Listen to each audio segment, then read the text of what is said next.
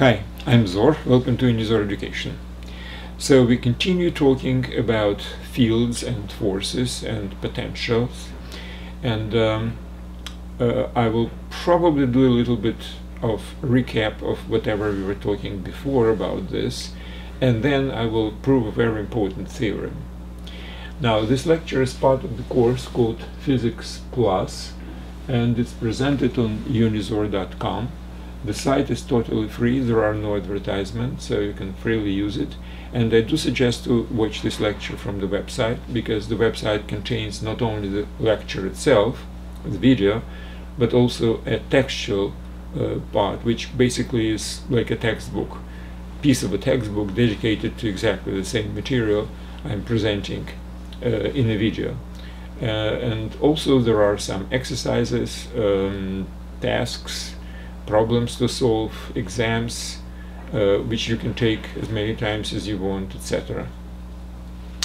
Okay, now um, there is a prerequisite course for this, which is physics for teens, which is on the same website, and math for teens. Again, math is absolutely mandatory, and definitely calculus and vector algebra you have to know before doing anything with physics. Okay, so let's get back to business. First of all, um, we have defined a concept which is called a field. Well, the field contains basically a few different uh, items in, inside. Well, first of all, it's a piece of space, it's area uh, in our three-dimensional space. We're talking about three-dimensional Euclidean space with Cartesian coordinates. Then at um, every point in this area we have a vector of force um, we call it field intensity force.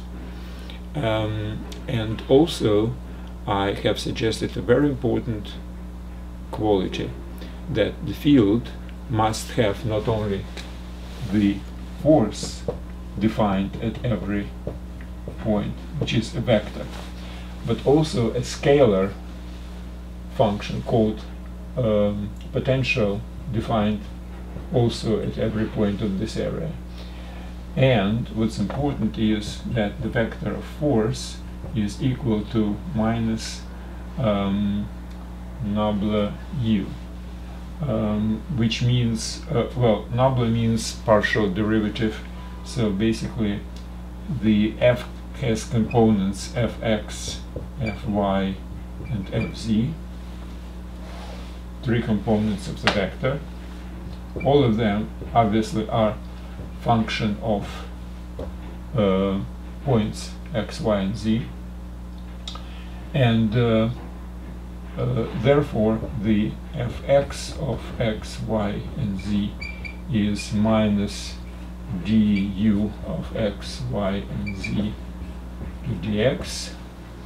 fy at x, y, z is minus du of x, y, z, dy, and same thing for z.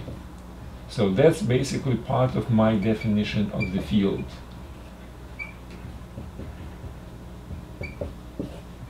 Let me see. So the function, um, the, the vector of force, force intensity, and potential which is a scalar function at every point, have to have this type of dependency. Now, from this, I have derived a couple of interesting properties of the field. For example, if you have two points in the field, A and B, and certain trajectory where some object is moving, now at every point there is some kind of a force, F, vector, which is acting on this object. So the force performs certain amount of work. And what I have derived in that lecture, that this work from A to B is independent on the path. So if I would take another path or another path, the total amount of work will be the same to move an object from A from uh, the, the force performs when object moves from A to B. And another quality was that if A and B are at the same point, which means we start and we finish at the same point, then the total amount of work along this closed path is equal to zero. This is all was actually part of the previous one of the previous lectures where I was talking about properties of the field.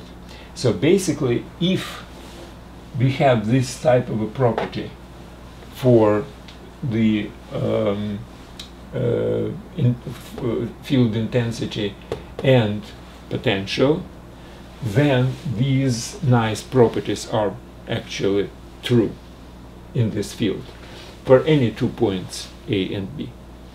So that's a characteristic of field. Now, today I'm going to prove basically a converse theorem. If the field has this nice property, then there is a function u, scalar function u, which basically plays the role of, uh, of potential, which is connected to my uh, field intensity force through these um, equations. Now, before that, again, let me just very quickly remind you, I have proven a couple of very important lemmas, like auxiliary theorems. For example, it was proven in the previous lecture that if you have, for example, um, that amount of work along any closed path is equal to zero, then the work between points A and B is independent on the path. Or vice versa, if it's independent on the path, then um, amount of work on a closed path is equal to zero. And uh, I also uh, have proven that work amount from A to B is minus work amount from B to A, which is kind of very obvious thing. So if you're moving from here to here, it's some amount of work, but from here to, to there back along the same trajectory will be the same amount by magnitude, but with a minus sign. And also, if you have three points, if you have three points, let's say A, B, and C, A, B, and C, then um, if you will take amount of work from B to C, from B to C is equal to from A to C minus, oops, amount from A to C minus amount from A to B. It's like vectors.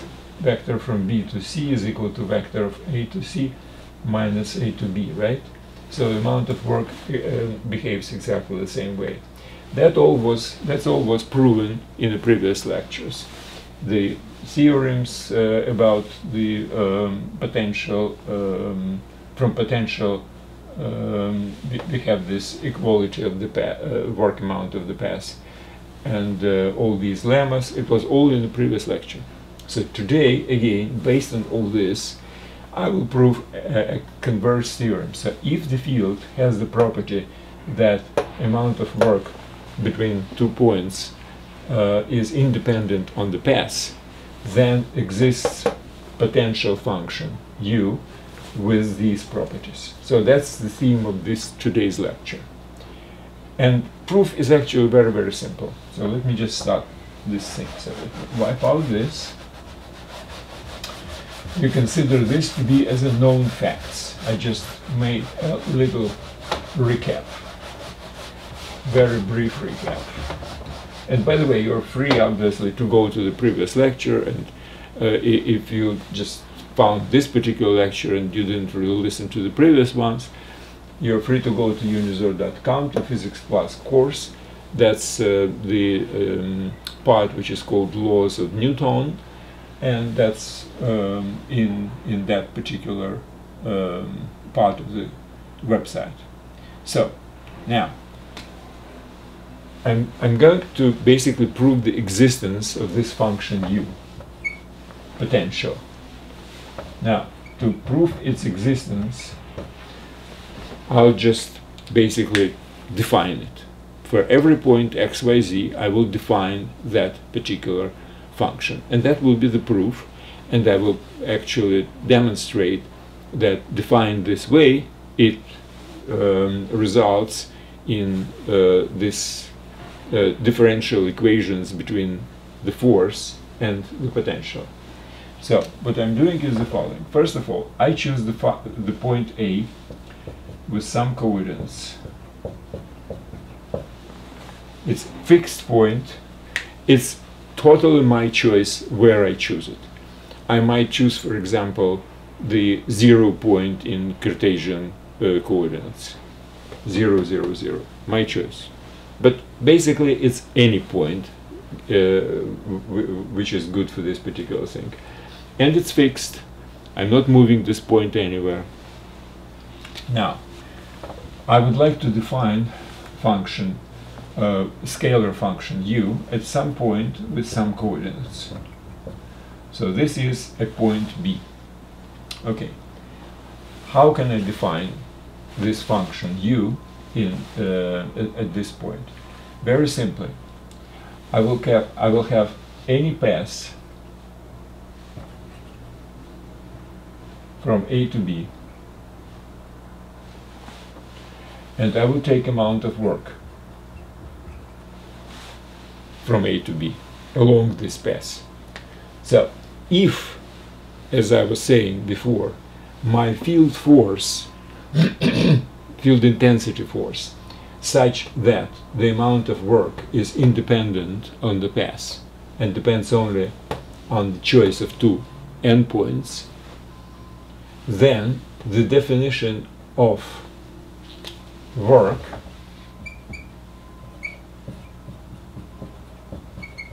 is legitimate.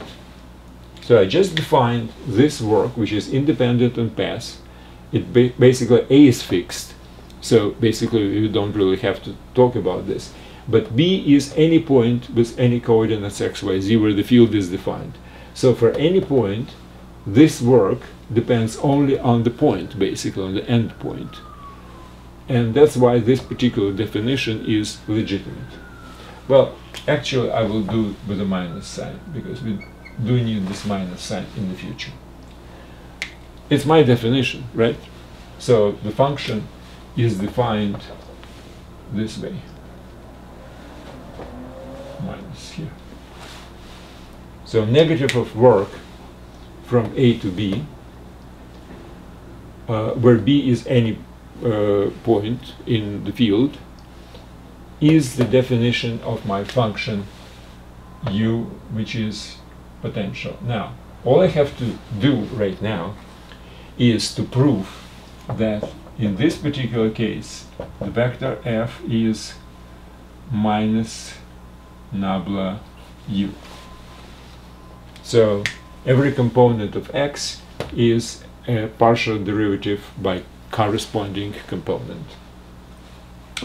Okay, let's do it this way. Let's choose another point C from any B uh, on an infinitesimal distance in any direction.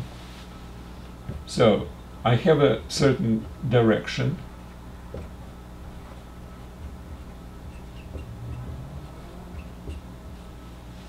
I'll call it dr. That's a differential of displacement, which is equal to dx, dy, dz. So it's a vector of infinitesimal increments along every coordinate. And along this vector, I will put the point C. So it's on infinitesimal distance, basically, from B. And uh, I can talk about movement of the object from B to C. Well, obviously, this particular um, amount of work, which will be um, the function of the force at point F, and direction, as we know, work, well, in this case, it's dif differential of work, is equal to F times dr time, uh, the, the force, scalar product, and displacement. Now this is infinite, infinitesimal displacement, so that's why I can consider force to be like a constant basically. If uh, well, it's a function of, of x, y, z, but if x, y, z is fixed, then basically uh, I, I just multiply the force in uh, at point x, y, z, x, y, z by uh, infinitesimal displacement vector, and that would be my um, amount of work which I have to really perform, where the function, where the force must perform when moving an object from point uh, B to point C. So this is work from B to C. Okay, great. Now, how does it look in coordinates? Well, basically it's this way. F has three coordinates, fx, fy, and fz, right? So it would be first component uh, of x, y, z times dx by first component of this. This is scalar product, two vectors. This vector is fx, fy, fz. This vector is dx, dy, dz. So I perform uh, scalar uh, product plus same thing fy of x, y, z times dy and plus fz of x, y, z times dz. So fx, fy, fz are three components of vector f, dx, dy, and z, and three components, and this is a scalar product. Okay. On another hand, now, as we know, the work which is performed um, uh, on the way from B to C, uh, if you remember, I specified it this way.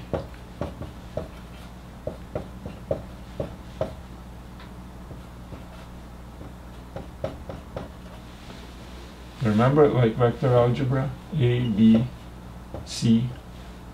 So, why is this? It's, it's very simple because the total amount of work should be equal, equal to zero. So W, so WAB plus WBC plus WCA is equal to zero. Now WCA is negative of AC. And from this, I have this, obviously. BC is equal to AC minus AB, if you will transfer to the right. Okay, so this is a simple thing. So I can say that this is, is equal to this amount of work from B to C. It's equal to amount of work from A to C minus amount of work from A to B. Now, what I have done is this. I have defined for any point B, B or C, or doesn't really matter, the potential as minus work. So, if this is equality, then I can say that this is equal to WAC is minus U of point C, basically, right? A is fixed this is a function of b in this case or c in this case, which is x plus dx, y plus dy, z plus dz. This is the point C, coordinates of point C. Now minus AB would be plus u of x, y, z. Okay, great. So I have already this type of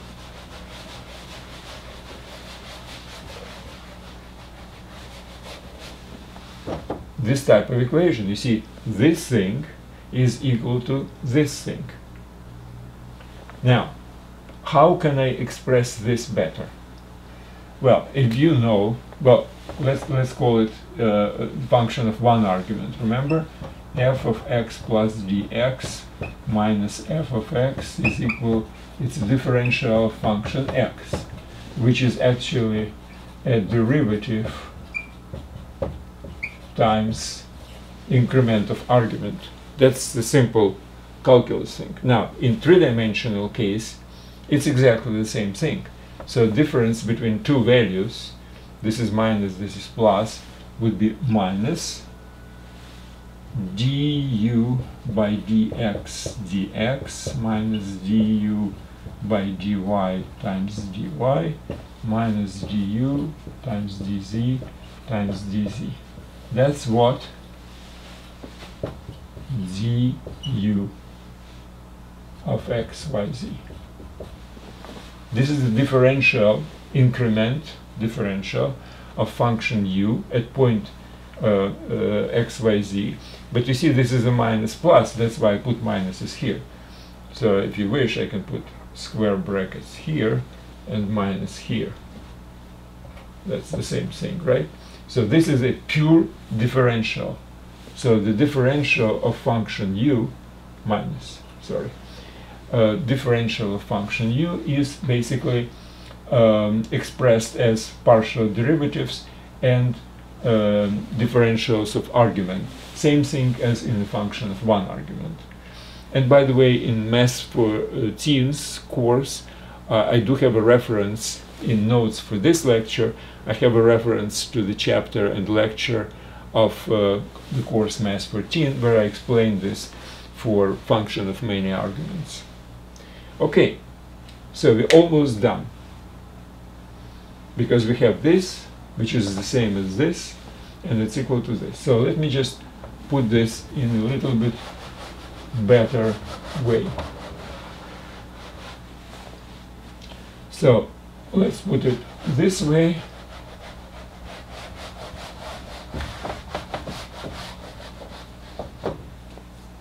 equal to this way.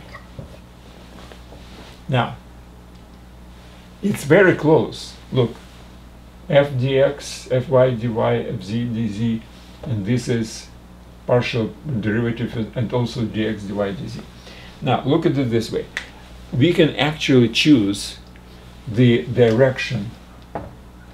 If this is b and this is c, and c is basically x plus dx, uh, y plus dy, and z plus dz, and b is x, y, z. Now we can choose any direction. I, I did not really specify exactly what direction I'm moving to. Basically any in infinitesimal increments of dx, dy, and dz will work. Everything will be exactly the same. So for example, if I will put uh, some increment dx not equal to 0, but dy and dz will be equal to 0, what would I have? I have only this component equal to dx. To, to, to this component, I will have this fx um, of xyz equals to minus du of xyz by dx. Right? dx, dx. So this part should be equal to this part. Because this and this and this and this is equal to 0, I said. Right? And dx is an infinitesimal, it's a variable, so it can be any value. That's why this must be equal, which is one of the things which we wanted to prove. Now, the same thing, if I will put dy not equal to 0 and dx and dz are equal to 0, I will have the same thing for dy. xyz equals minus du xyz by dy. And dz, the same thing. So basically, we have proven that there is some function u, and I have defined it explicitly as work from point A, which is fixed, completely fixed, chosen in the very beginning, to any point B. And by incrementing this point B to point C on infinitesimal increment, I basically have this differential equation. Equation between the components of the force and partial derivatives of this function u, which I have defined as minus work from A to B. So basically the, the, the theorem is proven. Now, what's kind of maybe uncomfortable, I have chosen the, the, the point A, the beginning of all these trajectories, basically without kind of any particular um, considerations. It can be any. Now, if it can be any, it means that I can I can define my potential function in many different ways. And in any way I define, I will still have these equations true. But the potential function itself is not unique because its partial derivatives are unique, but not the function itself. Same thing with functions of one argument. If you have uh, the derivative of a function, uh, you, you don't really have the function itself. You have a function plus constant, right? Because the derivative of a constant is, is equal to zero. So if you have a um, derivative of function f, uh, for example, something, then the um, the function f itself of x is defined um, uh, uh in such a way that you can add any constant and it will be the same thing. Same thing in potential. Potential is defined to degree of one particular constant to be added to this. It's only differentials, partial differentials, um, partial derivatives are um, properly defined because they are equal to the field intensity force. But the function u itself is not.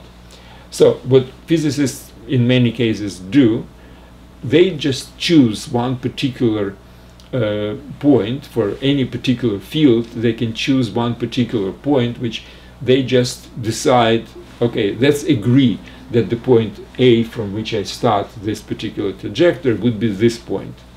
Now, in case of something like a gravitational or, or, or electrostatic field, which, which are usually have the central point, which is the source of the, of, of, of the force, the source of the field intensity force, they choose infinitely um, remote point um, where the force is basically zero uh, as the um, the beginning as, as the point A which I was using in this particular proof.